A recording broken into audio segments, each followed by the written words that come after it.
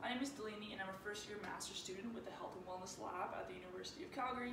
And today we'll be, we will be going through the bicep curl exercise from the ACE home-based maintenance program. So this is a great upper body exercise that primarily works the biceps, which are these muscles on the front of your arm right here. I will provide a couple levels of difficulty, so choose the one that feels most comfortable for you to begin with. Uh, there is a disclaimer up on our Health and Wellness Lab website, so make sure to give that a read prior to starting any home-based exercise. Uh, and as always, if you have any questions, feel free to shoot us an email at ace at ucalgary.ca. Okay, so let's get started with this bicep curl. Uh, I will show you a couple variations, but we can first begin with our home-based dumbbell bicep curl.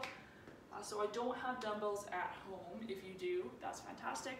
Um, but anything that has a little bit of weight and can be held in your hands will do uh, just as well as a dumbbell. So I have chosen soup cans as my dumbbells today. So what we're going to start with for our bicep curl is our feet about hip width apart, just make sure they're comfortable.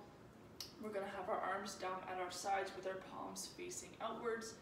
And as we curl up, we want to make sure that we're only hinging from the elbows and these arms are not swinging.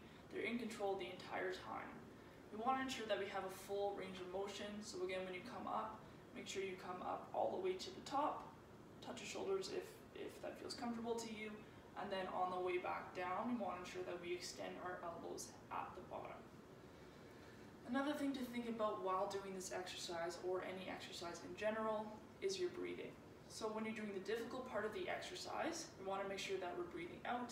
And on the easier part or the downhill part of the exercise, want to make sure that we're regaining our breath and breathing in. So for this exercise, the way up is the difficult part, so that's when we will exhale, and the way back down is the easier part. So we're going to start with a big breath in, and the way up, we're going to breathe out, and the way back down, we'll breathe in. So that's just something to think about as you're doing the exercise. It keeps your breathing regular and helps you feel a connection with your body when you're doing the exercise. So some modifications that we can do for the bicep curl if you don't have dumbbells but you happen to have an exercise band around the house is use an exercise band for the dumbbell or for the bicep curl. So this could be easier or harder than the dumbbell curl based on the resistance of your band. But the great thing about exercise bands is that you can change the resistance uh, on your own depending on where you place your feet.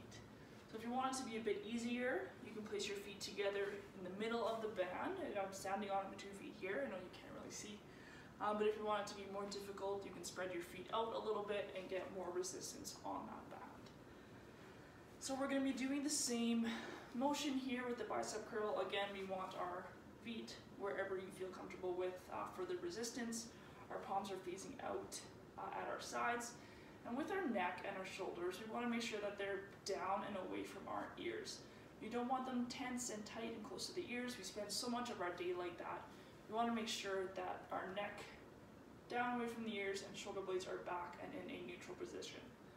That's a great starting position for this bicep curl. We're just going to do the same thing. We're going to breathe out on the way up, make sure that we get a full range of motion at the top, breathe in on the way down, and extend for a full range of motion at the bottom.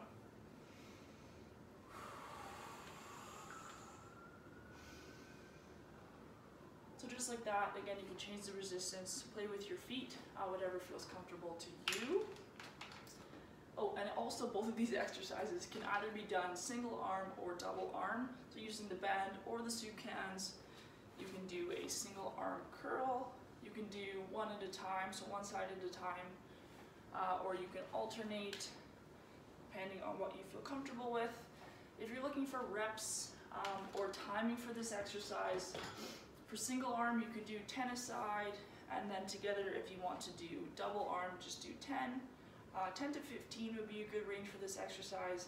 And if you're looking for timing, about 45 seconds uh, to one minute would be great for this exercise as well.